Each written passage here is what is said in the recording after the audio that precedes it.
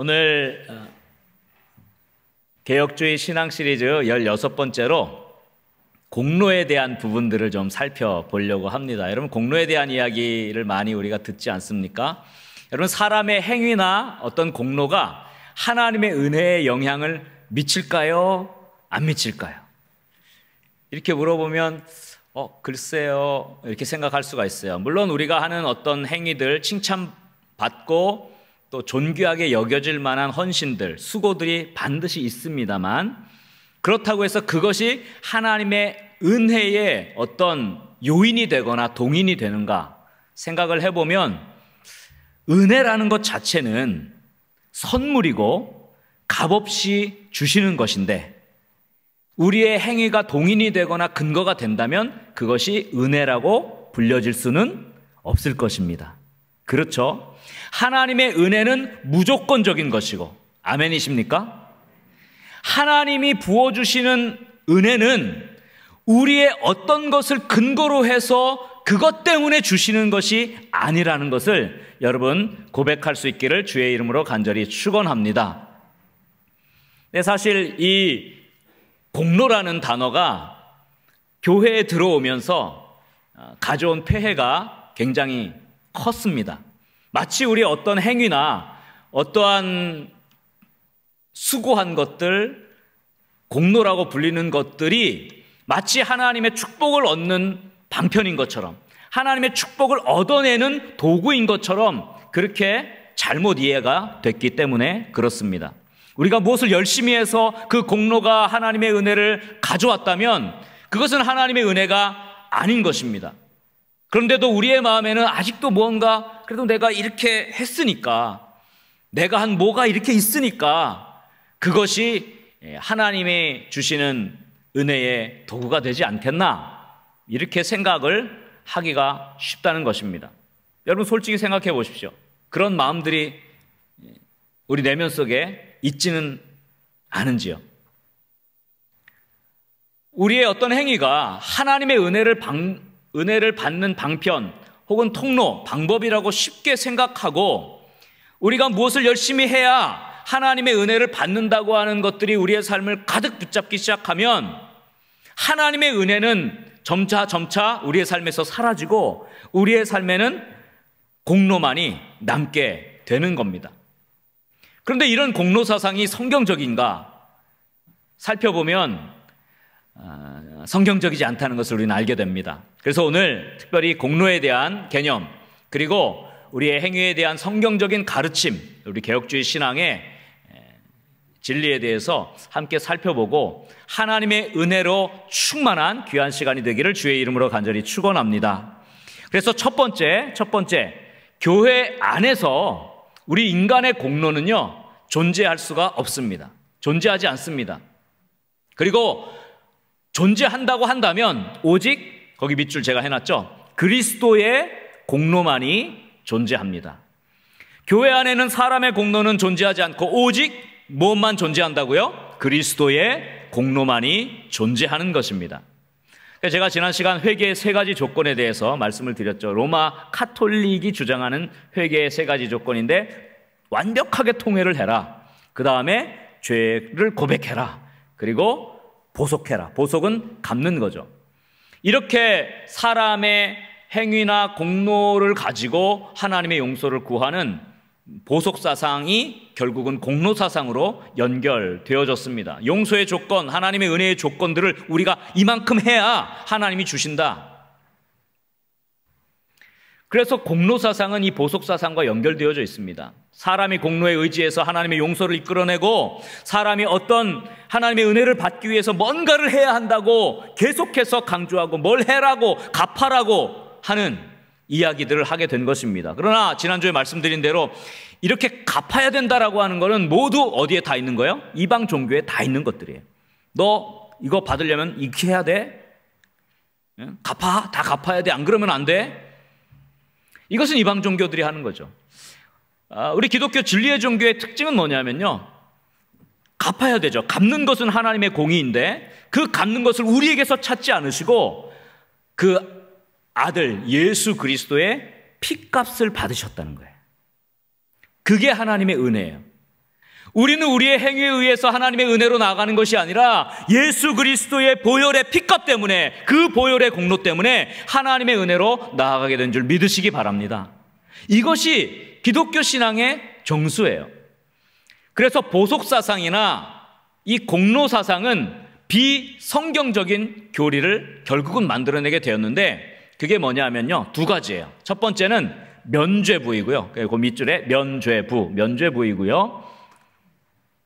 두 번째는 연옥설, 연옥. 연옥이라고 들어보셨죠? 어, 면죄부와 아, 연옥입니다. 어, 일반 사람이 자기의 공로와 행위를 가지고 하나님의 용서하심, 만족하실 만한 보속, 즉 갚는 행위를 이루기가 어려워요. 왜냐하면 우리는 연약해서 죄를 많이 짓잖아요. 그래서 다른 사람의 공로를 빌려와서 내 것으로 삼는 게 바로 면죄부예요. 특별히 성자들이나 순교자들의 피 흘린 공로를 빌려와서 내 죄값을 해결하는 것. 이것이 면죄부의 핵심입니다. 로마 가톨릭은 성자들과 순교자들의 공로, 그 피 흘림의 공로를 교회의 보물창고라고 부릅니다. 교회에 보물 창고가 있어요. 그래서 교회 역사를 통해서 순교한 사람들, 공로, 성자들의 그 평생 헌신한 수고와 피 흘림, 순교의 공로 이것들이 교회 창고에다가 가득가득 쌓여 있다. 그 교회의 보화라고 합니다. 근데 그 교회 보물 창고를 열 수 있는 열쇠를 누가 가졌냐? 교황이 가진 거예요. 그러니까 교황이 그 열쇠로 그 창고를 열어서 그 안에 있는 공로의 복을 성, 신자들에게 이 성자들의 공로들을 나눠줄 수 있는 권한을 가졌다고 합니다. 그게 주장하죠.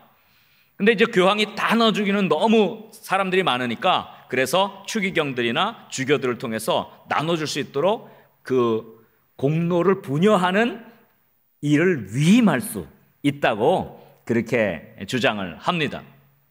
그래서 이것에 따르면 전권 면제부라는 게 있어요. 이것은 모든 죄, 전체 기간의 죄를 다 사하는 거예요. 전권 면제부인데 전권 면제부를 얻게 되면 바로 연옥에서 천국으로 갈 수 있어요. 왜? 모든 죄를 다 갚았으니까.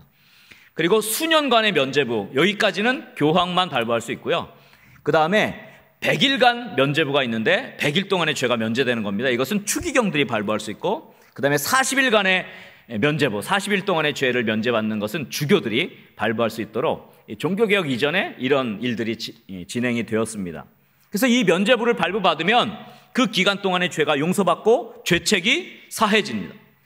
가장 놀라운 일은 연옥에서 고통받고 그 죄값을 갚는 기간, 보속의 기간이 줄어들어서 빨리 천국에 간다는 거예요.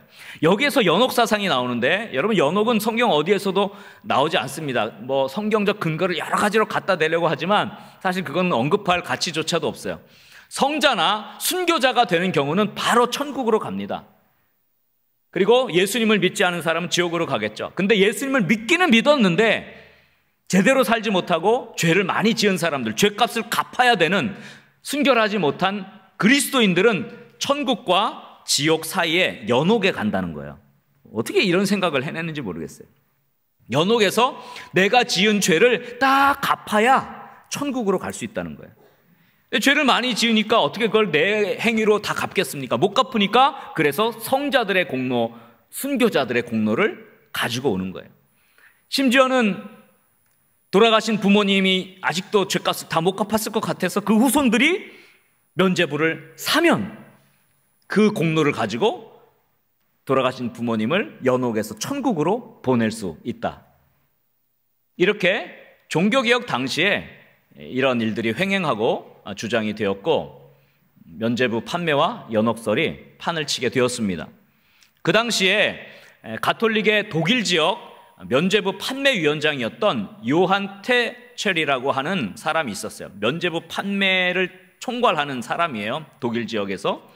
그 요한 테첼이 이렇게 말했습니다. 제가 거기에 굵은 글씨 좀 써놨는데요. 이렇게 얘기했죠. 여러분 들어보셨을 거예요. 현세에서 자손들이 낸 동전이 헝금함에 쨍그렁하는 순간 조상의 영혼이 연옥에서 천국으로 직행한다. 여러분들은 말도 안 된다고 지금 웃고 계신 것인데 그만큼 우리가 성경적으로 많이 돌아온 거죠. 근데 그 당시에는 그걸 믿었어요. 하, 그렇지. 연옥에서 벗어나서 천국 가려면 면제부를 사야지. 여러분 이게 말이나 됩니까? 여러분 죽어서도 죄값을 갚아야 한다면 예수 그리스도의 보혈의 능력과 예수 그리스도의 십자가의 그 은혜는 어디로 갔습니까? 예수 그리스도의 보혈 피값으로 우리의 죄가 다 씻어지지 않고 아직도 갚아야 할 죄가 죽어서도 갚아야 될 죄가 남았다면 도대체 그것이 어떻게 그리스도의 보혈을 믿는 것이 되겠습니까? 그런 연옥은 도대체 어디에서 근거해서 만들어낸 겁니까? 이걸 말하려면요, 입이 아픈 거예요. 그러니까 종교개혁자 마틴 루터는 아예 거기에는 언급할 가치조차 없다. 그렇게 그냥 일축을 해버렸어요. 이것은 명백한 비성경적인 가르침입니다. 어쨌거나 성자들이나 순교자들의 피가 죄를 씻는 보석의 효력이 있다. 이것은 비성경적입니다. 성경은 오직 예수 그리스도의 보혈만이 피만이 죄를 씻기는 능력이 된다고 분명하게 선포하고 있습니다. 요한일서 1장 7절 하반절에 이렇게 말씀했죠. 우리 다 같이 한 목소리를 함께 읽도록 하겠습니다. 그 아들 예수의 피가 우리를 모든 죄에서 깨끗하게 하실 것이요. 아멘입니까? 예수 그리스도의 보혈로 우리의 모든 죄는 깨끗하게 씻김을 받게 된 겁니다. 더 갚아야 할 것도 죽어서 뭐 그들이 주장하는 연옥에서 그걸 다 해결해야 될 그런 필요도 전혀 없는 것입니다. 실제로 로마 카톨릭 내에서 가장 존경받는 교황 중에 한 명이 레오 1세예요. 그래서 그 이름을 위대하다 그래서 대레오, 즉 Leo the Great 이렇게 부른 초기 아주 초기의 교황입니다. 주, 주후 440년에 예, 교황으로 즉위한 분이죠. 근데 이 레오 1세가 팔레스틴 교인들에게 보낸 그 글이 있어요.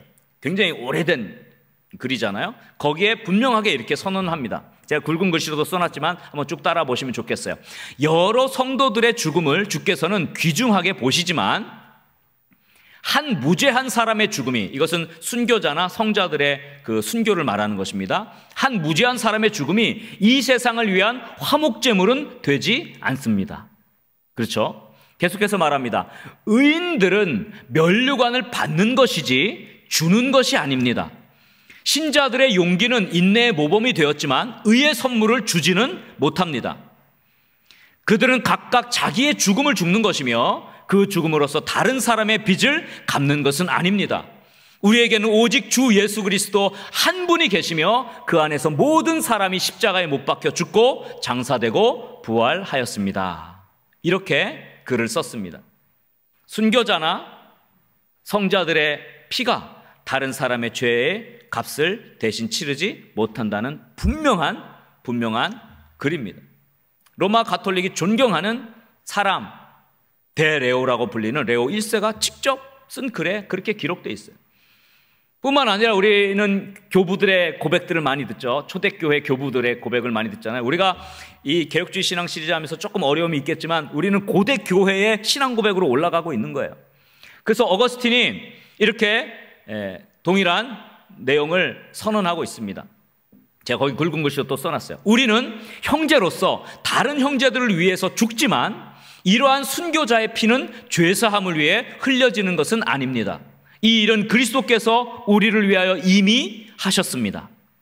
그가 우리에게 이 은혜를 주신 목적은 우리도 그를 모방하라는 것이 아니라 그냥 기뻐하라는 것입니다. 그가 우리에게 이 은혜를 주신 목적은 우리도 그를 모방하라는 게 아니라 우리도 예수님의 뭐 순교의 피를 흘리 이런 개념이 아니라 예수 그리스도의 보혈을 그저 은혜로 받고 그저 기뻐하고 감격하라는 것이다. 이것이 초대교회의 신앙이었습니다. 어떤 사람도 심지어는 사도들이나 성자들이나 순교자들이 하나님 앞에서 자신의 목숨을 바치고 피를 흘렸다 할지라도 그 피가 예수 그리스도의 피를 보충하거나 대신할 수 없습니다. 예수 그리스도의 피는 그 자체로 완전하며 다른 순교자들의 피를 필요로 하지 않습니다. 그래서 교회는 오직 그리스도의 제가 거기 밑줄 해놨죠. 보혈의 공로, 보혈의 공로만 역사하는 곳입니다. 교회는 오직 그리스도의 보혈의 공로만 역사하는 곳이라는 사실을 믿으시기 바랍니다. 사람들의 공로가 교회에 있다면 그 교회는 진정한 교회가 될 수 없습니다. 왜냐하면 교회는 그리스도의 몸이기 때문에 그렇습니다. 자, 오늘 본문에서 사도 바울이 분명하게 고백합니다. 골로새서 1장 24절 말씀에 이렇게 고백하자. 한번 다 같이 읽겠습니다. 나는 이제 너희를 위하여 받는 괴로움을 기뻐하고 그리스도의 남은 고난을 그의 몸된 교회를 위하여 내 육체에 채우노라. 자, 이 말씀을 좀 보시기 바랍니다. 그대로 좀 띄워주세요.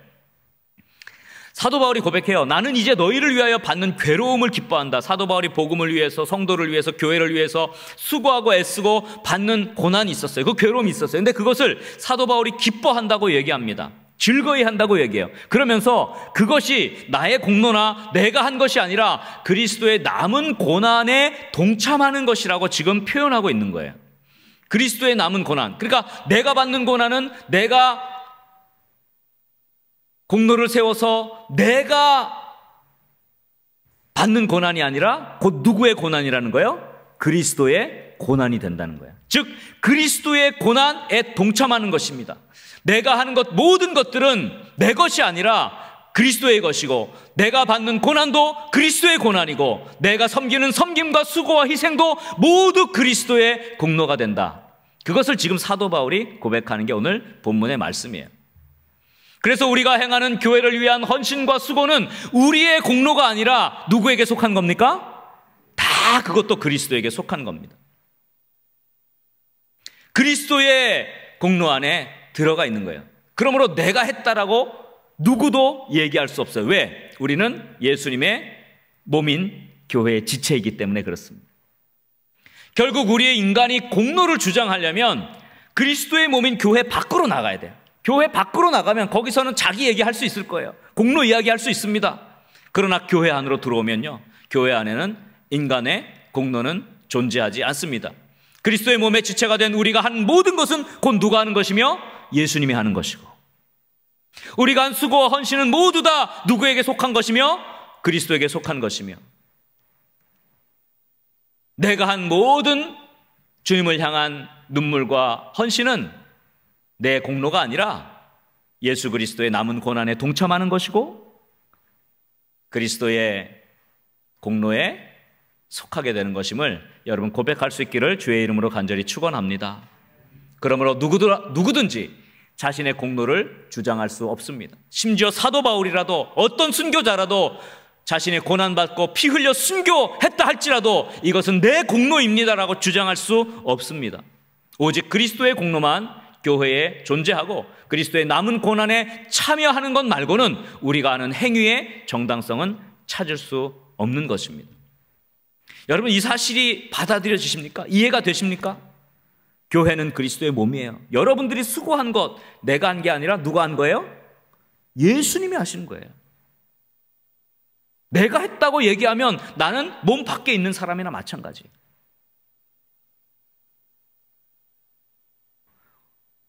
음식을 먹어서 위장이 소화를 하지 않습니까? 열심히 일을 해서 소화하는데 그 위장이 내가 했다 하지 않죠. 그 몸이 하는 거죠. 우리가 그리스도의 몸이기 때문에. 이것이 영적 원리예요. 이것이 성경적인 헌신의 원리죠. 저와 여러분들의 수고와 헌신, 칭찬할 만한 것들이 분명히 있습니다만, 그러나 그것조차도 내가 한 것이 아니고 예수 그리스도께 속한 것입니다. 예수님이 하신 것입니다라고 고백할 수 있는 신앙이 참 성경적 신앙, 참 하나님의 은혜를 아는 신앙이라는 사실을 믿으시기 바랍니다. 그래서 우리 거룩한 문 성문교회 믿음의 영가족들이 자신의 공로는 다 사라지고 오직 그리스도의 남은 고난에 동참하고 그리스도의 공로만 고백하는 참 그리스도인, 참 몸된 교회를 섬겨가는 축복의 사람들 다 될 수 있기를 주의 이름으로 간절히 축원합니다. 우리 한번 옆에 분들과 이렇게 인사하면 좋겠습니다. 나의 공로는 내 것이 아닙니다. 오직 그리스도의 공로만 의지합시다. 그래서 우리가 한 모든 행위의 결론은 이것입니다. 두 번째 논제이죠. 성경은 공로 사상이 아니라 거기다 제가 밑줄 해놨죠. 은혜 사상을 가르칩니다.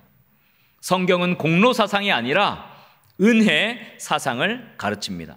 한번 저를 따라 합시다. 성경은 공로 사상이 아니라 은혜 사상을 가르친다. 여러분, 이 공로라는 단어는 어디서 왔을까요?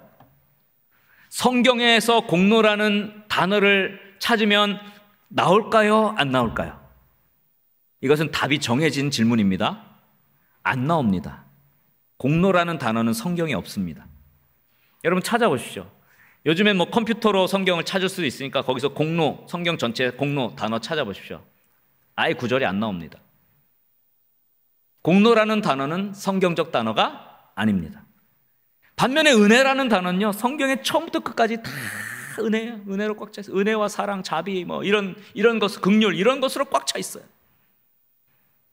그런데도 우리는 성경적 단어인 은혜, 사랑, 자비, 극률 이런 것보다는 자꾸 공로를 이야기하려고 해요.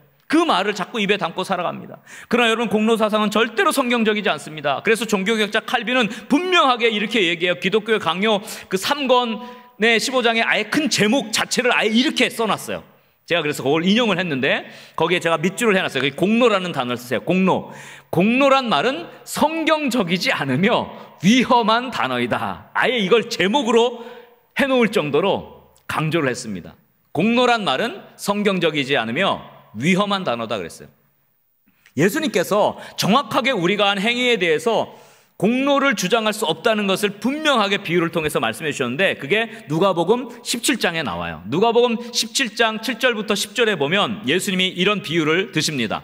너희 중 누구에게 밭을 갈거나 양을 치거나 하는 종이 있어 밭에서 돌아오면 그더러 곧 와 앉아서 먹으라 말할 자가 있느냐. 8절에 도리어 그더러 내 먹을 것을 준비하고 띠를 띠고 내가 먹고 마시는 동안에 수종 들고 너는 그 후에 먹고 마시라 하지 않겠느냐. 9절 명한 대로 하였다고 종에게 감사하겠느냐 하면서 10절에 이렇게 말씀하죠. 이건 같이 한번 읽어보겠습니다.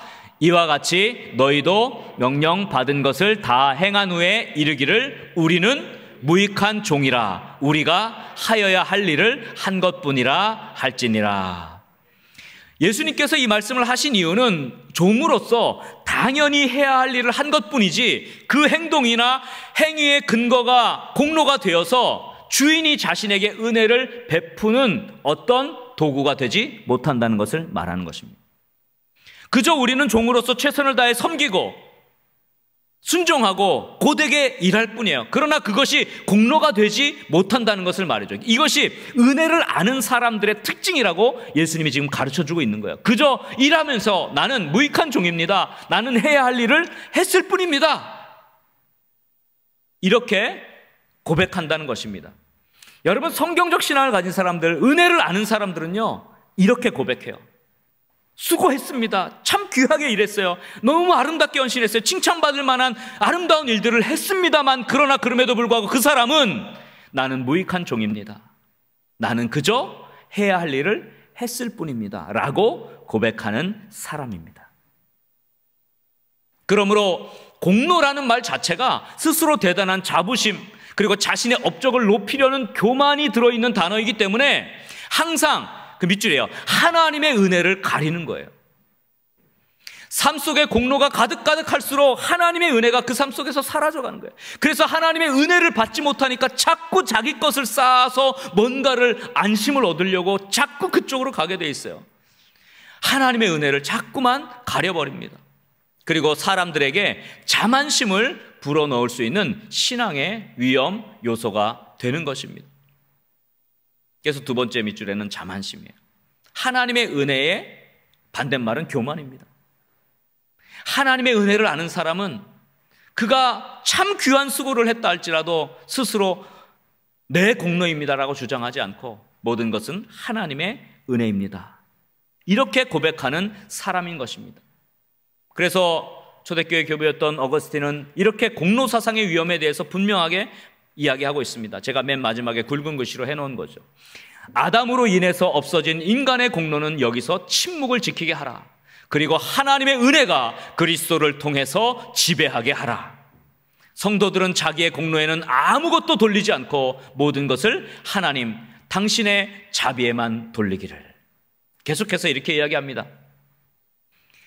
사람이 자기에게 있는 선한 것은 모두 자기에게서 난 것이 아니고 하나님께로부터 온 것이라는 사실을 깨달을 때에 아주 중요한 말씀하죠. 그는 자기에게 있는 칭찬할 만한 것도 모두 밑줄입니다. 자기의 공로에서 나온 것이 아니라 자기의 공로에서 나온 것이 아니라 하나님의 자비에서 나왔다는 것을 깨닫게 된다.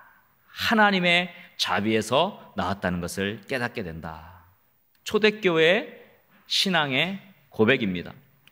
그래서 그 마지막 부분 한번 우리 다 같이 한번 읽었으면 좋겠어요. 중략까지 말고 그다음 사람이부터 우리 한번 한 목소리로 함께 아, 읽어보겠습니다. 사람이 자기에게 있는 선한 것은 모두 자기에게서 난 것이 아니고 하나님께로부터 온 것이라는 사실을 깨달을 때에 그는 자기에게 있는 칭찬할 만한 것도 모두 자기 자기의 공로에서 나온 것이 아니라 어디에서 나왔다고요?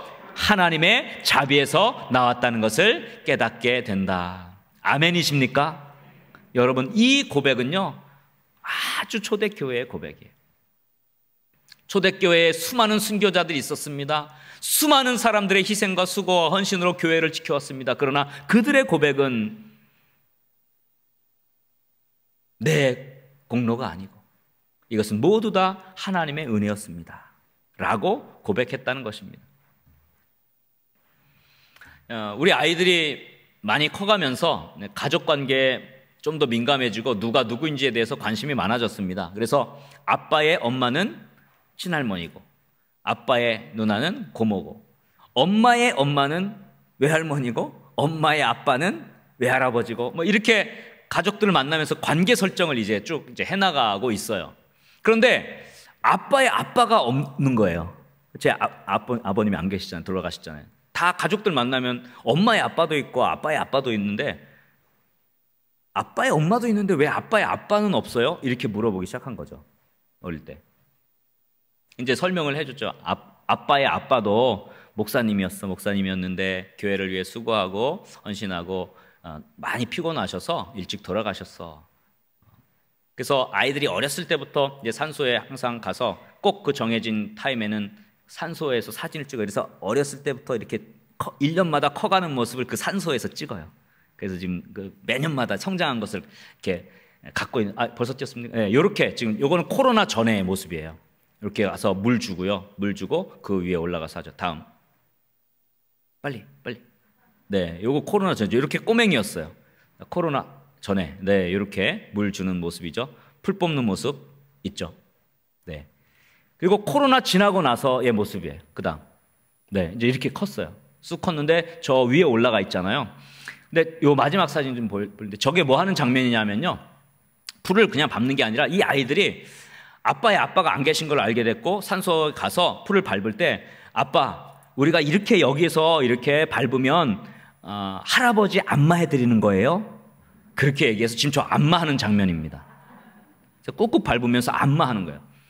제가 왜 이야기를 꺼내냐면 제가 이제 사진 끝내주시고 어, 아빠의 아빠가 안 계신데 아, 빠의 아빠가 목회하시다가 일찍 돌아가신 걸 아이들이 알게 됐거든요. 그래서 산소에 갈 때마다 꾹꾹꾹꾹 잔디를 밟으면서 할아버지 안마해 드리는 거야 라고 생각을 했는데 제가 전에도 말씀드렸듯이 우리 아이들이 저 와서 안마를 자주 해주거든요.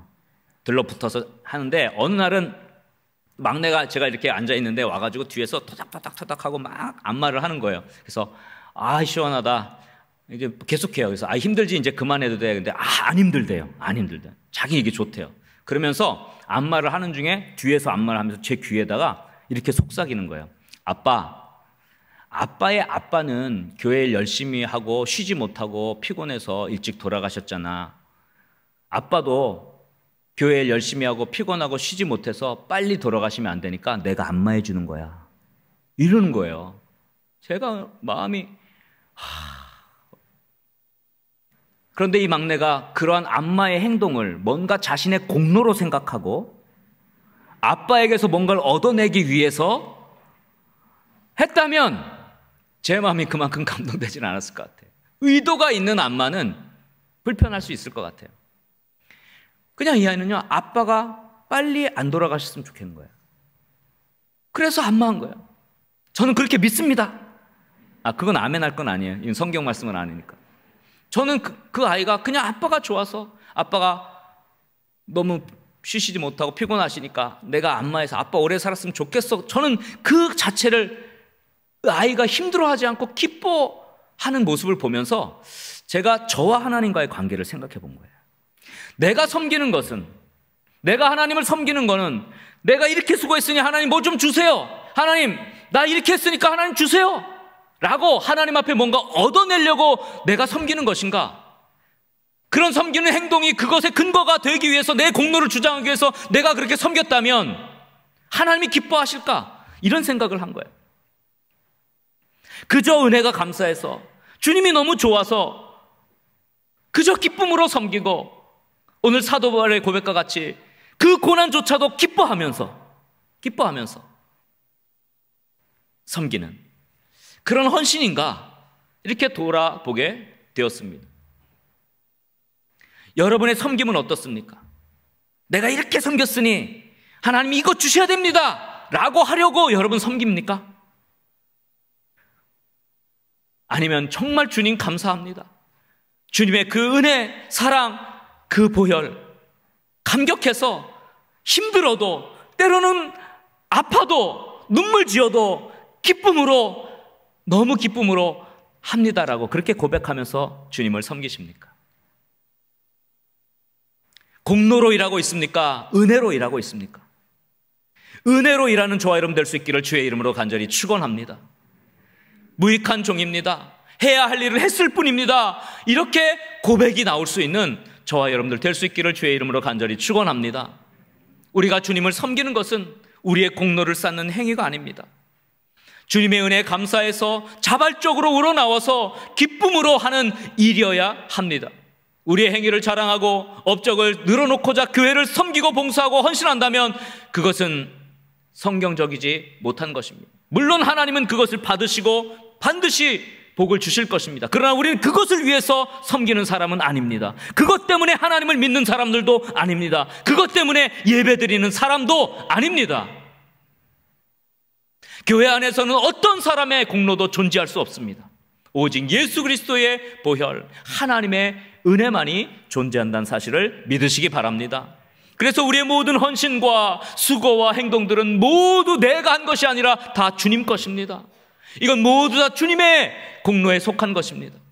내 공로는 존재하지 않고. 왜냐하면 나는 그리스도 안에 있고 그리스도가 우리의 머리이시며 우리는 그 몸의 지체이기 때문에 그렇습니다. 할렐루야.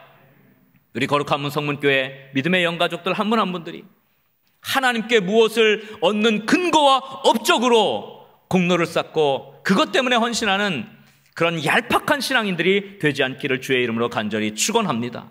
오늘 바울의 고백과 같이 나는 정말 너희를 위하여 받는 괴로움, 그 고난, 그것도 너무 기뻐. 왜? 나는 지금 그리스도의 고난에 내가 동참하고 있기 때문이야. 예수님의 그 은혜 때문에, 그 주님의 사랑 때문에 나는 어떠한 괴로움과 고난과 모든 것들도 나는 다 감당할 수 있어.